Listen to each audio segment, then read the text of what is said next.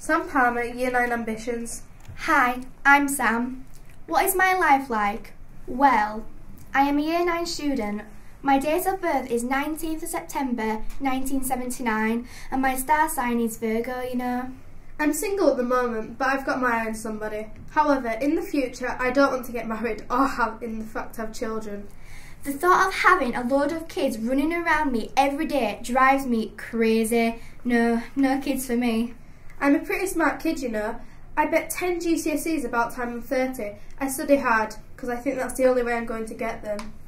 I want a horse. No, in fact, I want a whole stable full of them. If everyone had a horse, the earth would be a safer place to live in without all of that pollution ruining the ozone layer. All my mates call me an environment freak. It's not my fault I care. On Saturday, I obviously go out with my mates, but I'll never drink like they do.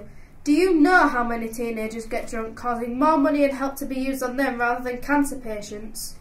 I personally prefer healthy packed lunches. Before I go walking, after, my mum always treats me to a dinner in the local pub.